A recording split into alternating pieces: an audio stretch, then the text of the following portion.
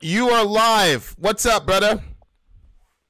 So I've been hearing the you talk about uh, Ukraine and Russia, and um, you do make sense, but it just kind of seems like you're more supporting of, of Russia than Ukraine. My my issue, like um, my issue is Russia shouldn't have invaded at all because um, Ukraine is a sovereign country and they should have the right to decide what they do within its borders.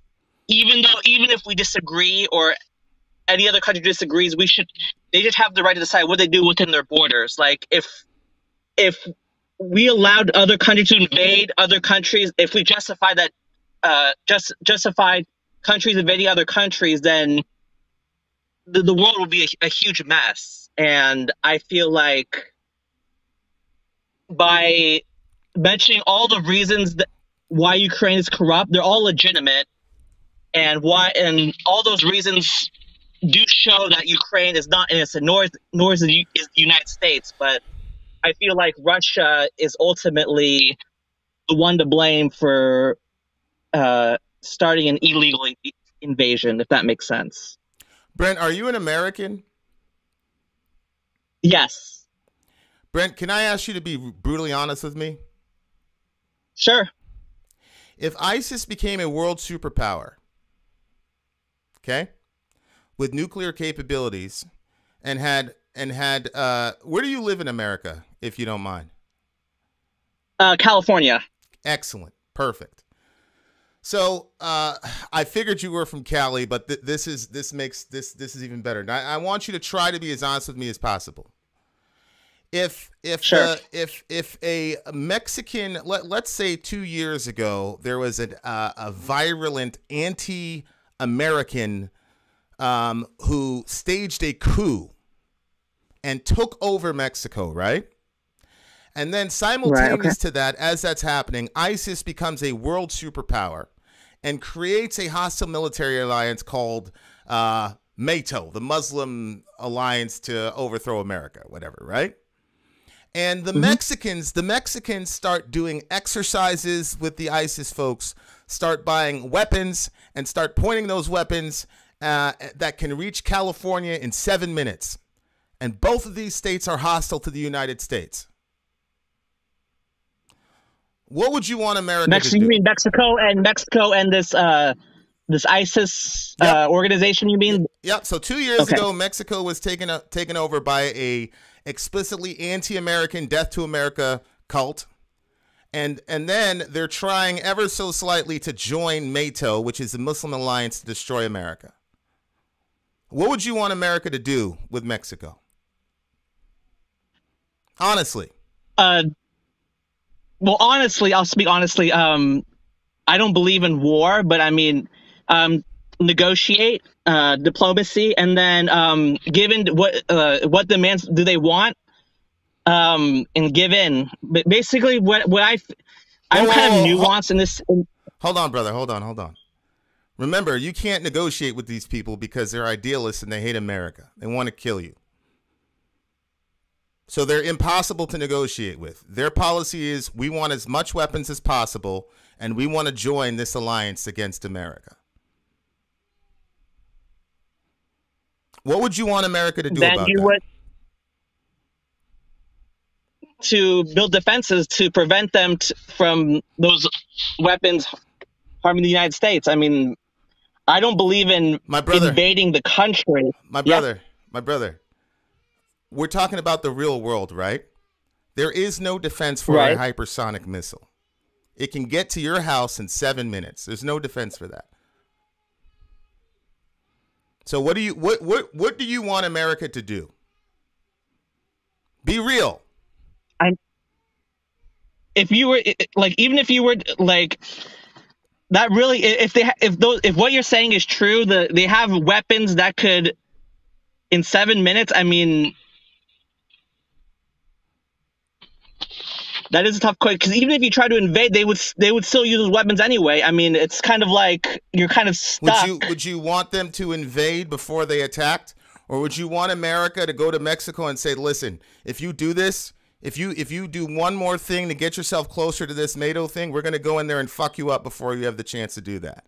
Is that crazy for America to do? Let me ask you another question, Brent. Whether or not you like that posture from America, would you be relieved as an American? Especially a Californian, considering that you're bordering Mexico? Let's just be as honest as we possibly can, my brother. Would you be relieved if our country went and said, "Listen, Mexico, the, if you if you go one inch closer to MATO, if you get one more missile from MATO, we're gonna go in there and shut that shit down. We're not gonna let you bomb the shit out of our out of Brent and his family." Would you be relieved if America did that?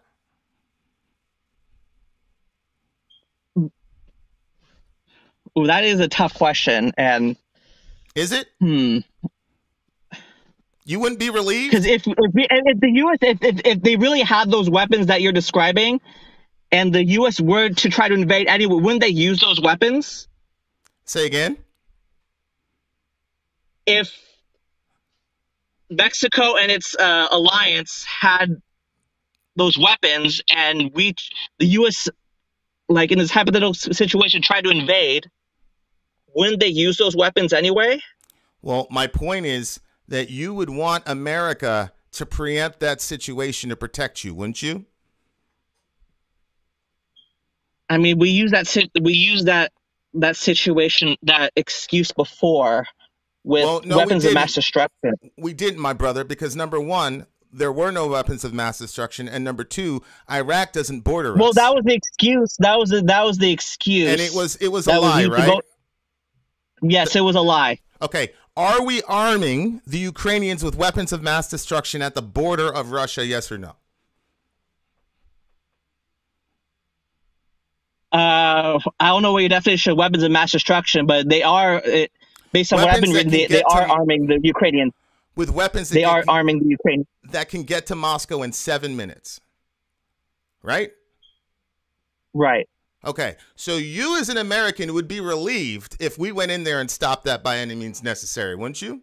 Especially since you're a Californian. Was I? I didn't do enough research on this, but did they arm him before or after the invasion? Long before, my brother.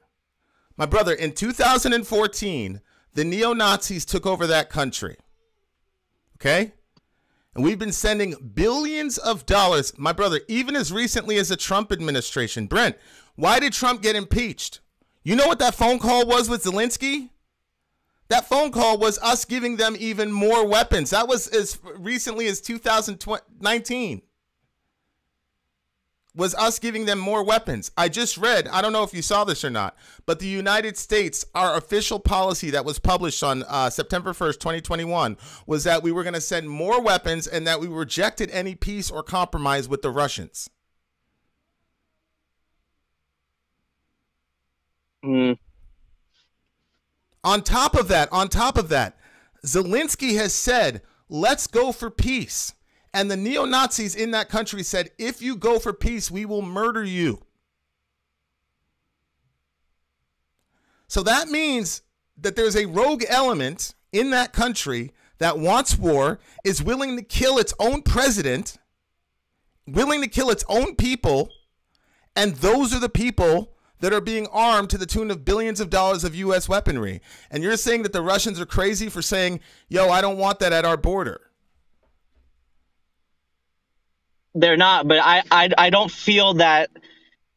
Isn't it hypocritical?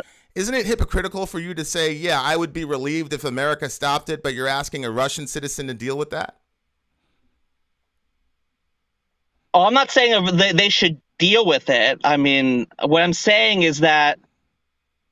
Okay. What I'm saying is that it, they shouldn't invade. Like, the United States shouldn't invade in, in, in the situ- hypothetical situation. They shouldn't invade they should find ways, defenses against the, that weaponry. I mean, how long? How long has Vladimir Putin tried to negotiate with these folks? Do you know? I would say at least a decade. a decade. Yeah, at least a decade.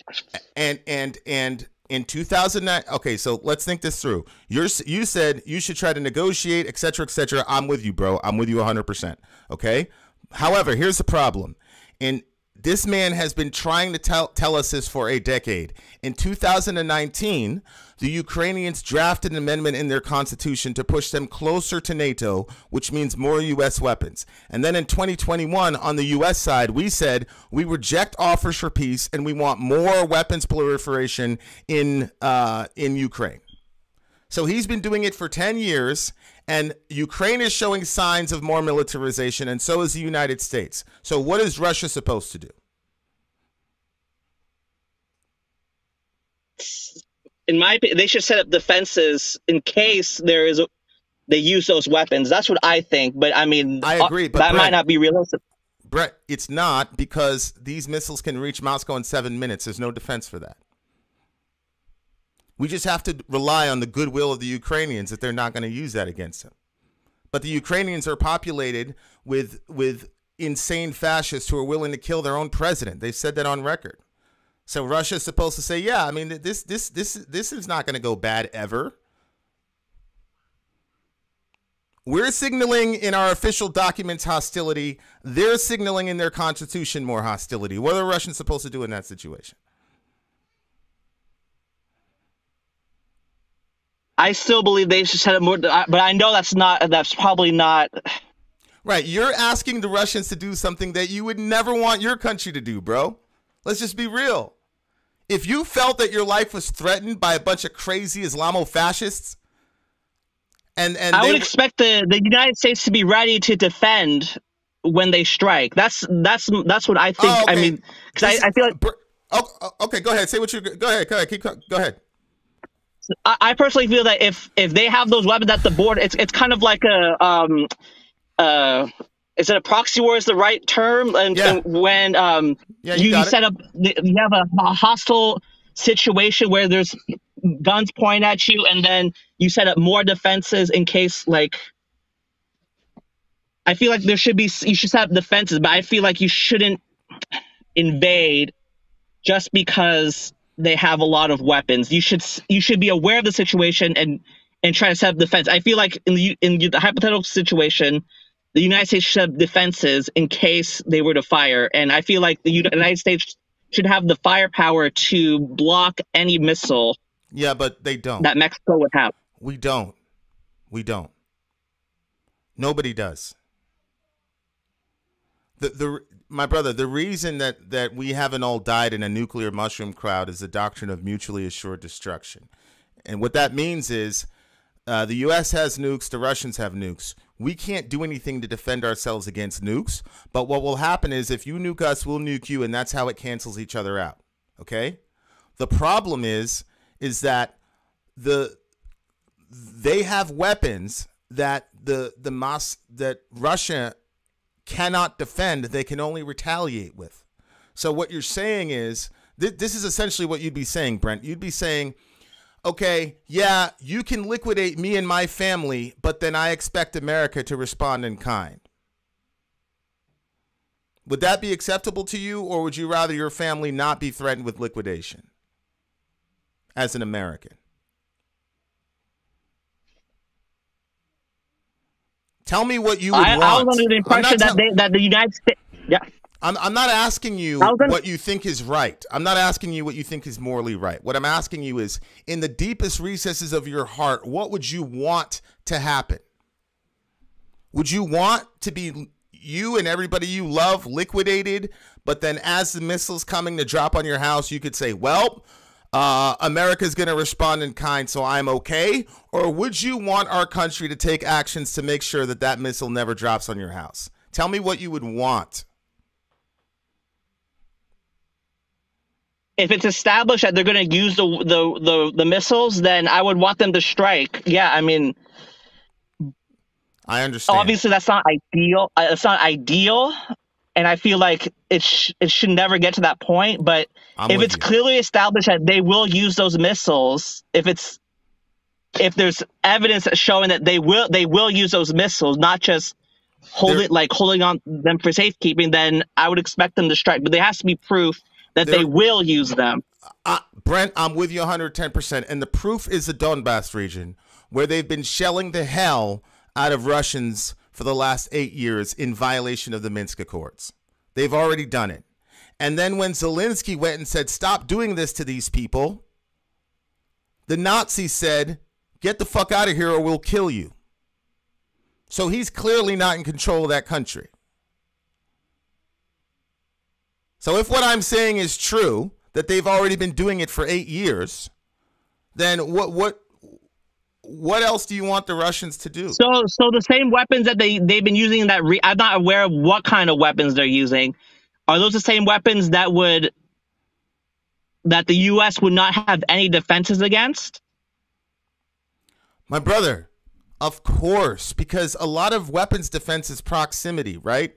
If I'm like 60,000 miles away from you, maybe I can get you with a Patriot missile. But my brother, the, the, we don't have like a magic net that can intercept missiles once they launch, right? Remember the Cuban Missile Crisis?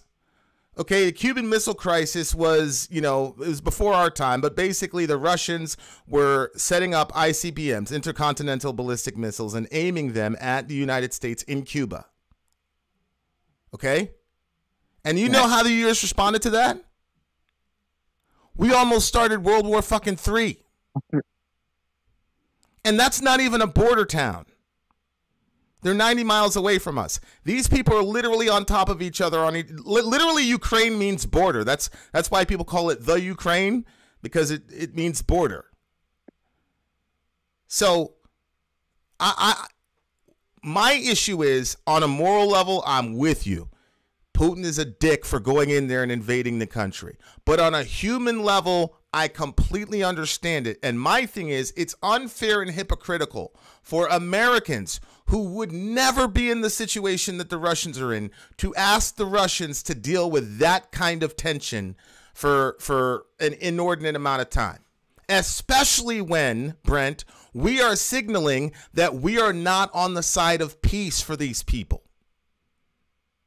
Oh no, I, I I knew that when when I was watching the coverage on CNN, I knew something was wrong. Like how, why you should be pushing for peace and de-escalation. You shouldn't be pushing for, you shouldn't be pushing, uh, encouraging Zelensky in, in, in that war. They should be working towards, uh, being neutral and all this. I mean, maybe that's a little idealistic, but they should be pushing for more peace, not for not encouraging more war. It, it didn't make sense to me. So I that's why I'm saying we're the bad guy.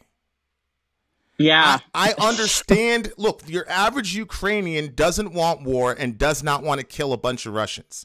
The average Ukrainian voted for Zelensky to come in under peace. Zelensky's entire campaign strategy was I'm going to bring peace to the region. We're going to stop all these wars.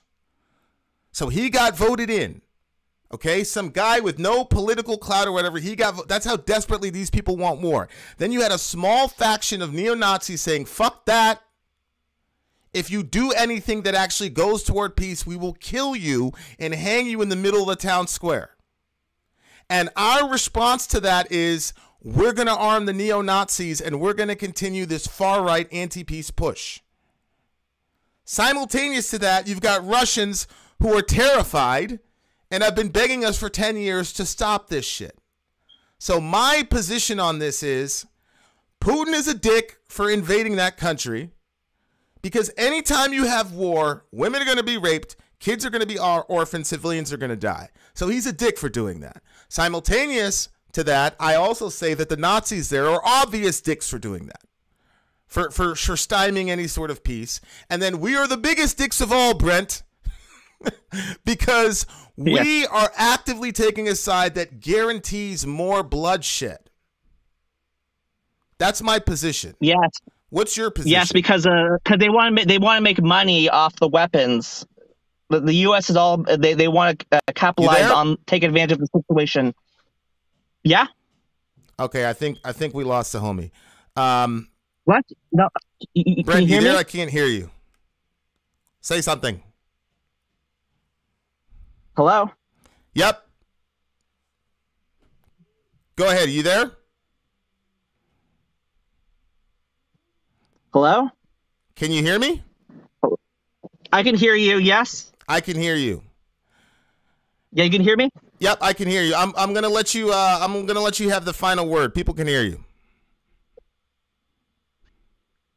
Okay, so what you told what you explained about like the Ukraine uh Russia living in in fear of NATO and the weapon and like the the increased weaponry uh, provided by the United States. It makes sense. Okay. And um, I totally get.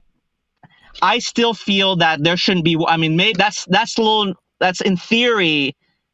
There shouldn't be war. Like you should. They Russia should not have invaded. In theory, but I'm we live you. in a world where we have to think practically, and the threat of Ukraine possibly attacking Russia. I, you and I are on the, you and I are on the same side. I, I don't know if you heard yes, this. because most people would say most people in our country would say either Russia is all bad and Ukraine is all innocent, or you have some some grifters on YouTube. I won't say their names who believe that Russia's all right and Ukraine, um, the, uh, uh, all the reasons you listed about Ukraine, that just 100 percent justifies Russia going to war. Yeah, and you, Ukraine got what they're what they deserved. I disagree with There's that. a nuance. Yeah, there's there's some I I can't believe it, but um, there's some gritters on YouTube uh, saying that, but there's a nuance. Like Russia was wrong to invade but at the same time, Ukraine and the United States should not have escalated the situation to the point where correct Russia resorted to an irresponsible war. There's there, there there's something in between. Yes. And honestly, I, I don't I don't and I'm not in in a position to be involved in politics. So I don't know what the answer is, but all I know is that there's no real innocent party in this in other, this situation. Other than the Russian civilians who just want peace and the Ukrainian right. civilians who voted right. in Zelensky and commanded him to bring them right. peace, right? Right, right. So there, there is. No, I mean, those are the people that are innocent, but it's kind of like Ukraine. They there needs to be a way where they need to de-escalate. Correct. Because if they don't, then then Russia's going to resort to irresponsible invasions like and, what they're doing now, and, and Brent, it's just not right. Brent, I gotta stop you there. Your ter- I've never heard anybody use that term before, but that is literally the term. I believe Mr. Putin acted completely irresponsibly. I agree. That is such a perfect way to. Now, granted, the man is in a very difficult position, but I do believe the invasion was irresponsible that's such a brilliant way of putting it because you know we've got we got nuclear powers saber rattling each other. Brilliant statement. You're 100% right. I agree with you completely. Right, and it's it's it's really like and and you, this nuance will never be discussed in in media in mainstream media. Like you you you hear the cheerleading on CNN for Ukraine, like you, you see the Ukrainian flags, yeah. but they mention nothing. They mention nothing about Iraq or Libya Correct. or Yemen. Yemen. Correct. And it's kind of like um, it's it's such bullshit. But at the same time, like you do, I don't want to be like one of the, some of those YouTube grifters where they say that Russia was 100% justified Correct. and Ukraine deserved what they got. It's, it's just Bullshit. there's a nuance, and it, it's it's the nuance is very. You're the one of the few that understand the nuance of the situation, and and the situ, the hypothetical you described, like honestly, I would if if there was imminent war, I would move out of the country. Right. that's that's what I would do. Like you know, I would move out of the country. Like like if I if, if I heard because the the Mexican border is two hours away from me, what? and if I heard if Mexico was on the, I don't care what the United. States, I would move somewhere else. Yeah, but there, bro, there has to be some element of personal responsibility. Little bro, you have the financial means of doing that. What if I'm dirt poor and I can't go anywhere? Right. Well, right. Right, uh, but but like like there has to be some element of personal responsibility as well. But at the same time, like if you're if you can't move, then you're just gonna the the worst case scenario is you're gonna if they're gonna strike and it's gonna be imminent, then the U.S. has to respond somehow. But there, there has to be proof that those missiles will. It's almost a certainty that those missiles are going to be fired. I, I, That's just I, my opinion. Like, yeah, I, I, hear you, Brent. Man, look, you and I were this this call is the exact reason we have the channel. We're all gonna try to figure this shit out together. To your point, none of us are experts. I certainly am not. Um, you're not, but we're both looking at the situation and saying, "Hey, do you see this? Do you see this?" And we're coming to a conclusion together. That's the entire point. Thank you so much for calling in. I'll let you have the last word. Um, I really like your channel. Um, I've been listening. Thank you so much for calling sure, in, my sure. brother. All right, thank you. I appreciate right, thank you. you. I appreciate right, thank you. you. Have right, a good one. Yep. bye. That was Brent, dear listener. He was amazing, amazing. And again, guys, this is what we're about. This is what we're about. It's discussion. It's it's talking. It's it's not one guy pontificating to everybody what everybody's supposed to believe. Brent came in there. He came in there strong. He believes what he believes, but he's also open-minded, willing to augment his position, willing to see things from a, from a human perspective. Um, and I, I don't think I don't think there's a more appropriate word that was used. Irresponsible. Russians are irresponsible for invading. Americans are irresponsible for playing this this nuclear game of chicken with uh, a nuclear power. All right.